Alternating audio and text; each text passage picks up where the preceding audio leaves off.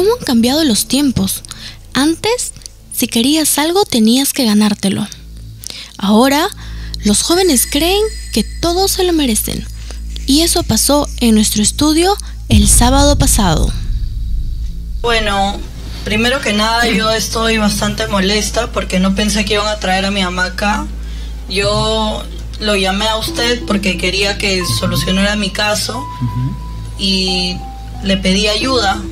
No le pedí que traiga a mi hamaca. Acostumbrada a que las cosas sean como ella siempre quiere. Y bueno, el caso es que mi mamá me ha puesto una, un castigo que no me involucre solo a mí, sino que también involucre a mi enamorado, porque yo ya le había dicho que nos íbamos a ir de viaje y yo creo que la promesa que tiene mi mamá es más con él que conmigo, porque nos está afectando a los dos, no solo a mí. Algo que tú has dicho es que tú llamaste, tú me llamaste, tú hablaste conmigo, ¿cierto? Ya, eso es falso. Eso es falso porque tú no, tú no te comunicaste conmigo. Tú enviaste tu inbox y te comunicaste con el equipo de producción. Así es. Ella le escribió a producción y nosotros nos comprometimos en ayudarla. No en darle la razón. Y dos, déjame aclararte otra cosa más. ¿ah? Que cuando tú te pones en contacto con Mariela, tú has firmado un contrato donde tú aceptas las condiciones del programa. Porque tú estás buscando una solución. Tú no estás buscando tener la razón. Y la productora te informó de lo que se iba a hacer en este lugar, en esta transmisión. Así que no puedes comenzar tu exposición mencionando algo que es falso. Y tercero, vamos a poner las reglas del juego bien claras. Tú no me puedes decir a mí a quién voy a invitar a mi programa. Porque es mi programa. Es un programa que, se va Uy, lo conozco. Ya se enojó y le va a poner las cosas claras a esa chica. Sencillamente hubieras dicho, no voy a ir, que se suspenda. Y habían otras personas que querían acudir aquí. Pero no solo la hija estaba equivocada. Has roto una promesa. En, eso, en eso estamos de acuerdo. Sí, sí. También estás de acuerdo, que ha roto una promesa. Pero ella también rompe las promesas a cada rato. Voy a este punto, ¿ya? Porque tenemos que aclarar todo esto. Cierta vez a mí me preguntaron, ¿una promesa se cumple hasta el final? ¿Hay que cumplir con las promesas? Sí, hay que cumplir con las promesas siempre y cuando las condiciones sean las mismas en las cuales se realizó la promesa. Las condiciones en las cuales tú le prometiste a tu hija entregarle.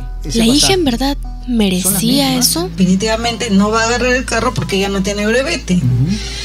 Y eh, el fin de semana salió y yo ya estaba descansando y las llaves las dejó al, costado de la puerta y cogió el carro. Cuando en la noche salí me doy cuenta que no está el carro. La, la confronto y me dice que sí, que ella lo agarró porque... ¿Hasta dónde puede llegar el poder de un hijo sobre el padre? Rompió un vaso contra la pared y se pone malcriada y yo la verdad por lo mismo que la quiero mucho, eh, le aguanto muchas cosas, pero yo siento que esto ya llegó al límite, ¿no? Si le sigo pasando es que a veces querer no te hace criar, sino malcriar. Tú cometiste una falta. Eh, tú, eh, algo que también me has repetido muchas veces es que tú ya eres mayor de edad. Puedo hacer todas las cosas en casa que ella quiere. Y ella no entiende eso. ¿Ya? ¿Y la casa de quién es? De mi mamá. ¿Y de quién serían las normas? De mi mamá. De tu mamá. ¿Es tan difícil entender eso? Si es la casa de tu mamá, tú tienes dos opciones. Estar en condición de hija o en condición de inquilina. Eh, yo estoy en condición de hija. De hija. Pero no solo ella ha cometido errores. Yo no me he hecho respetar. No te has hecho respetar, porque en la casa no hay normas. No hay normas. Sí hay normas, pero ella nunca las ha respetado. Entonces, pues, todo tiene un porqué. ¿Quién es la mamá en casa? Yo. ¿Tú? ¿Y quién es la que pidió ayuda? Ella. Ella. ¿Y quién en este caso?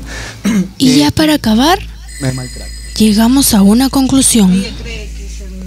Ya, ambas, ambas eh, se han comprometido a aceptar la resolución, lo que yo vaya a recomendarles.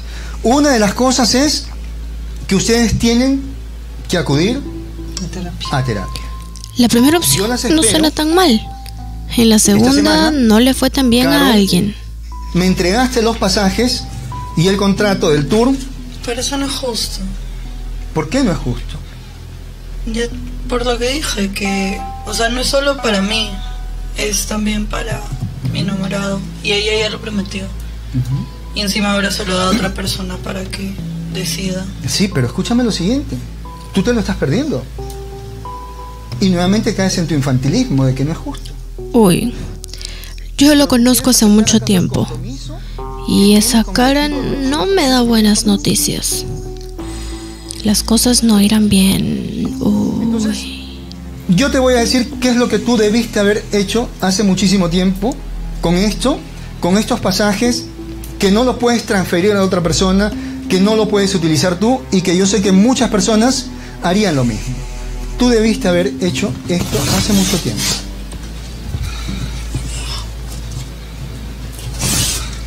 Y usted va a tener que aprender a respetar a su mamá. Aprender a respetar las normas de casa.